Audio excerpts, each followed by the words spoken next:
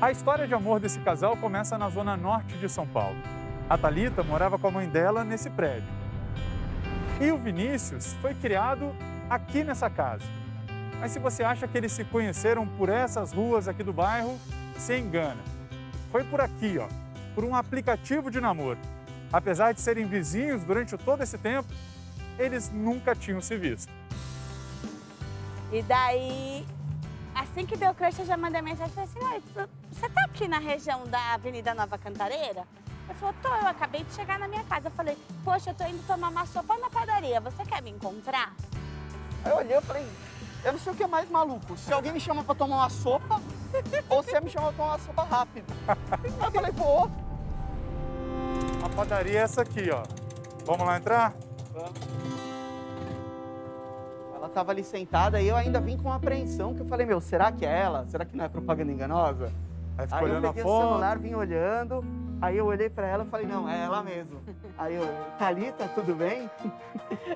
E assim começou a história de vocês, Thalita. Foi aqui na padaria. Talita e Vinícius conversaram por horas. O analista de marketing ficou encantado pela atriz e produtora cultural. Vocês chamam de quê esse encontro de vocês? De sorte? De acaso? Eu chamo de destino. É, não tem outro nome. Um mês depois, em uma viagem juntos, já começaram a falar em casamento. Tinha tomado uns vinhos, então não dá pra saber direito o que foi que aconteceu. Mas a gente começou a escrever no celular como seria um casamento de nós dois. Quem seriam os padrinhos? Onde a gente casaria? Padrinhos e as madrinhas do lado dela. O que parecia brincadeira começou a virar realidade. Os dois conheceram alguns salões e decidiram reservar uma data para a cerimônia. E a consultora conseguiu um único dia na agenda que estava livre, que não tinha sido vendido, que era 23 de março. O anúncio de um casamento relâmpago. Após dois meses de namoro, pegou a família de surpresa. Aí foi um choque. Aí realmente foi um choque. Acho que foi mais para minha do que para sua. Não sei, minha mãe não estava esperando também. Para eles, não havia motivo para esperar. E queriam uma festa completa. Todo o orçamento chegou a 48 mil reais. Qualquer um que falasse isso para mim, eu ia achar Falar que a loucura. gente é muito louco. Mas como foi a nossa história, então a gente acha que foi amor mesmo. não foi loucura. A reviravolta veio com a chegada do novo coronavírus ao Brasil e a recomendação para evitar aglomerações. Então são um risco. E eu não queria pôr ninguém da minha família em risco, de verdade. Eu queria ter todo mundo que eu amo ali. Imagina você perder uma pessoa porque a pessoa foi no seu casamento. Prática em organizar eventos, Talita conseguiu remarcar o dia da festa com os fornecedores. Mas a data no cartório não tinha mais como ser alterada. E faltavam apenas cinco dias. E daí eu falei pra ele assim, mas eu não vou me sentir casada só assinando um papel. Aí a gente conversando falou assim, por que, que a gente não faz dois ritos a celebrante? Ele falou, você escolhe um pro dia do casamento em um lugar e um outro agora, para vocês assinarem o documento com a família. Talita gostou da ideia. Dois dias depois que ela decidiu manter o casamento civil, o estado de São Paulo anunciou a quarentena. Boa noite para todo mundo. Aqui no estado de São Paulo, a partir de terça-feira, todas as cidades vão entrar em quarentena. Por um lance de sorte, a data marcada no cartório, 23 de março, era exatamente um dia antes da medida do governo entrar em vigor. A pequena cerimônia aconteceria na área de lazer do prédio onde a mãe mora, apenas com a presença dos pais e irmãos. Talita acabou ganhando até um vestido para usar no dia. E a rua da, da loja de vestido, na sexta-feira, me ligou e falou assim: corre aqui na loja, eu vou te emprestar um vestido para você casar bonita na segunda, vem aqui. Vestido, convidados. Faltava apenas um bolo. Aí eu, vestida de noiva, me deu essa história. Eu falei assim: como não vai ter nada? Eu entrei vestida de noiva numa outra padaria do lado da casa da minha mãe. Todo mundo pra mim assim, o que, que essa menina tá fazendo vestida desse jeito, com um buquê na mão? Eu falei, moça, eu preciso de um bolo, um bolo branco, porque eu tô, eu tô casando hoje. E a pessoa na casa minha falou, gente, que louca. Que louca. As mães dos noivos resolveram fazer uma surpresa.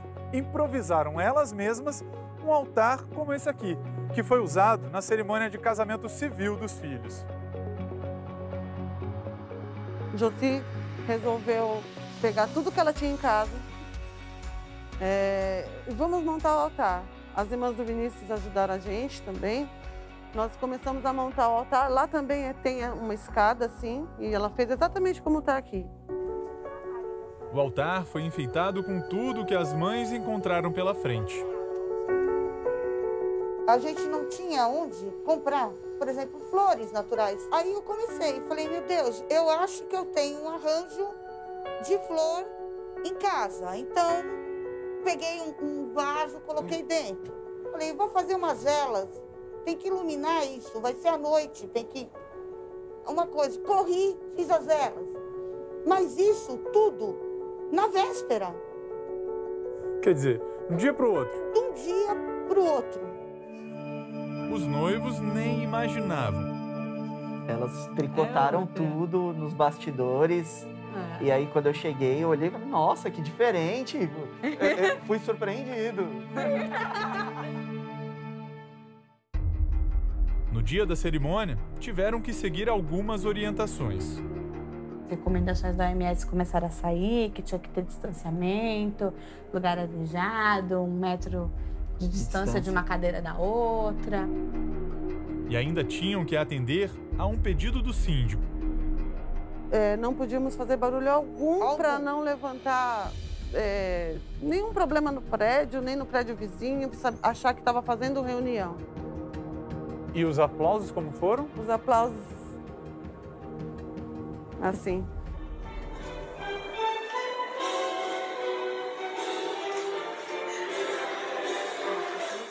Até a marcha nupcial foi colocada num celular, porque tinha que ser baixinho. A gente colocou a marcha nupcial para tocar bem baixinho.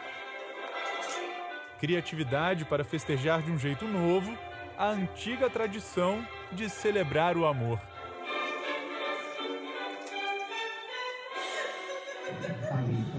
receba esta aliança, receba essa aliança como prova de meu amor, como prova de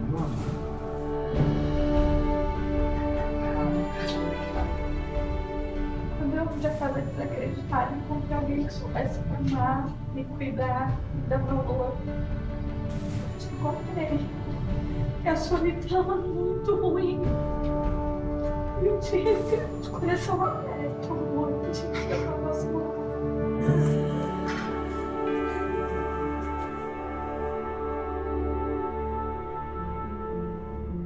Por causa das restrições da pandemia, Talita e Vinícius só tiveram 10 convidados. Para a noiva, faltou alguém muito especial. E eu mais senti mesmo foi a minha avó materna. Porque a gente sempre fala desse sonho. A minha avó sempre quis fazer meu enxoval, minha avó sempre quis estar na minha cerimônia, ela sempre quis que eu tivesse filho. Dona Teresa, de 70 anos, está isolada em um apartamento. Talita não vê a avó há quase três meses. Hoje, fará uma surpresa. Tô aqui no meu carro. Eu vou lá na casa da minha avó de surpresa levar aqui, ó, um vídeo com os melhores momentos do casamento. Então, eu vou me preparar aqui, me equipar com cinto de segurança e máscara de proteção e vou lá na casa da avó. Ela chega e prepara a máscara. Já esterilizei o note. Álcool 70 correndo solto. Tcharam. E vamos ver se ela vai gostar da surpresa. Ela não tá sabendo de nada. Acho que ela tá vendo ali pelo olho mágico. Vó? Tudo bem? Tudo você? Tudo já vim fazer uma surpresa. Cadê sua máscara? Chegou a hora da Dona Teresa assistir ao vídeo do casamento da neta. chique.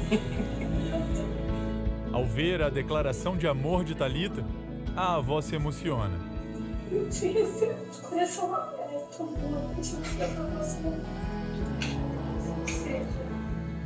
Ah, que legal. Eu sou uma amiga, agora mudou tudo de. Então, prepare o coração, Dona Teresa. A festa, do jeito que a Talita e o Vinícius sonharam, com um final feliz nesse roteiro de cinema, ainda vai acontecer. O dia não foi escolhido, mas é só esperar esse momento passar. A gente tem muita sorte de poder casar duas vezes, né? Que a gente casou e, e vai casar de novo, e eu vou ver ela de noiva duas vezes. Até lá, eles já vão descobrindo os desafios Isso, dá, dá esses copos aí pra mim. e as alegrias de contar um com o outro em um período tão difícil. Esse estranho jeito de amar.